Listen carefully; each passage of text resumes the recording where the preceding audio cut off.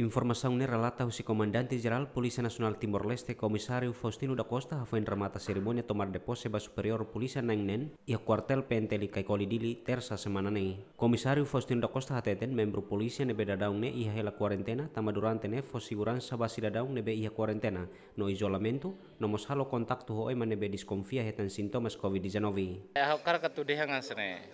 E tem membros balu que durante ne foi a segurança e quarentena, liu si buat tidak rapid test, foto sampel. Resultado hat tudo kata sira sedia kela. Neve nas kita fona auto karantina 14 dias basira. Agora, e incidente tidak acontece no ohin lorong ami halo maka amne membro ida ita tama bahaya karantina. Ega.